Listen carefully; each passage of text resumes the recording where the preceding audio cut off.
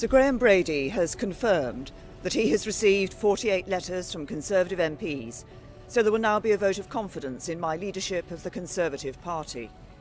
I will contest that vote with everything I've got.